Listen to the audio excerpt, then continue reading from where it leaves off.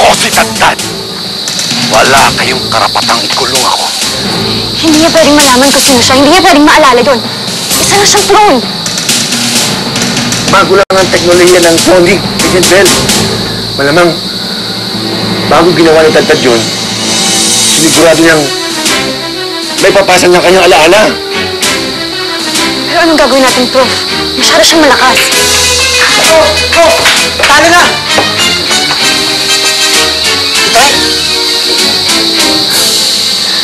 Bumalik na sa kasamaan ng tatay mo. Kung bumalik na siya sa dati, baka naalala niya na ako. Ivan, higupin mo kapangyarihan niya. Hindi ko kaya. Ang mga tao lang na binigyan ni Draxor ng kapangyarihan ang kaya kong higupin.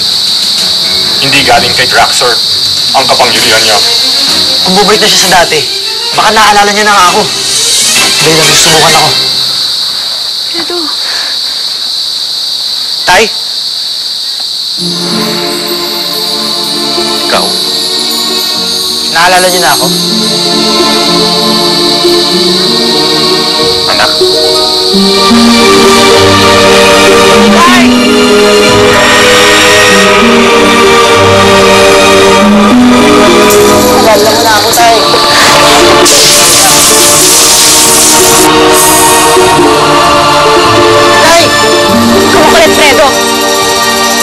Itay mo, isa lang siyang clone.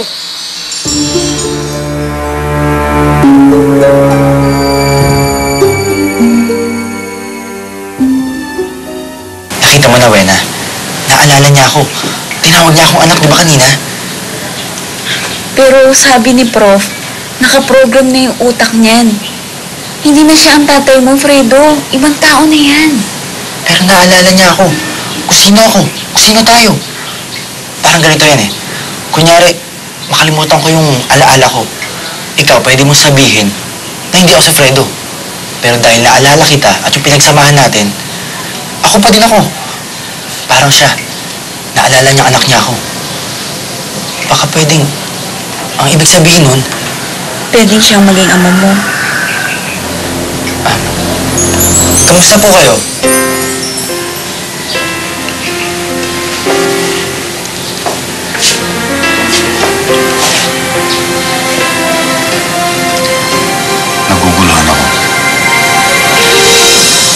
Mga bagay na pumapasok sa isip ko. Kasamaan, kalupitan. At, at ano po? Ikaw, nung nakita kita, naalala kita. Ikaw, Fredo, naalala ko. Balak mo nga sana isama ka sa kasamaan. Patawarin mo ako. Tay, naalala niyo nga ako. Hindi, Fredo. Magulo pa ang lahat. May mga alaala sa isip ko. Pero ang gulo-gulo. Hindi ko alam kung ano nauna o nahuli. Minsan pakiramdam ko isa akong halimaw. Gusto kong magalit sa mundo. Minsan parang mahina ako. Parang isa akong tao na naghahanap ng mga sagot. Fredo, hindi ako ang tatay mo. Ang totoo niyan, hindi ko alam kung sino ako o kung ano ako. Kailangan niyo mag-isip.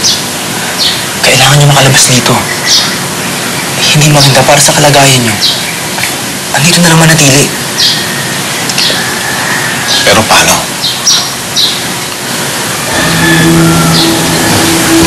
Nasa inyo ba yung susi ng kwarto? Oo, bakit?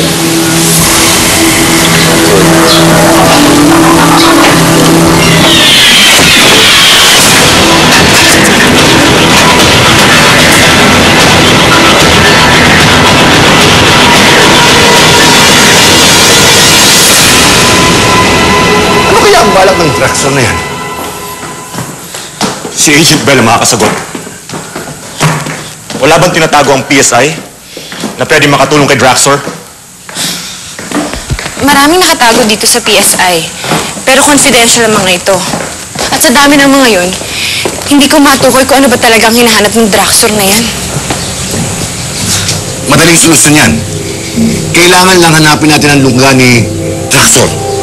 At hanapin natin siya. Bago pa niya mahanap, yung hinahanap niya. Si Agent Balto. Ha? Bago natin hanapin si Draxor, kailangan muna natin hanapin si Fredo. Ano ginawa ni Fredo? Tinakas niya si Danny 2.0.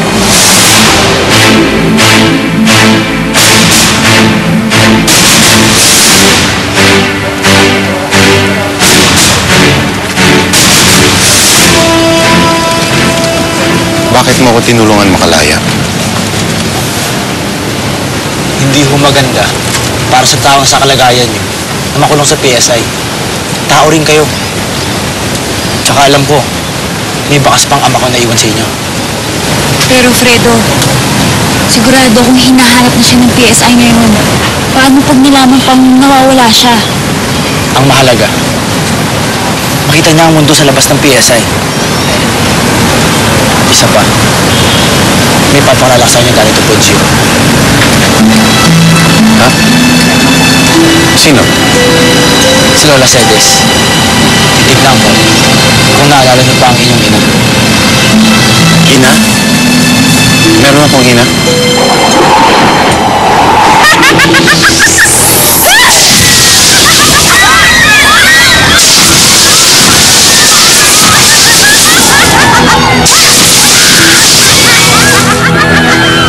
ho kayo. Huwag kayong aalis. Meron na kami gagawin. Fantastic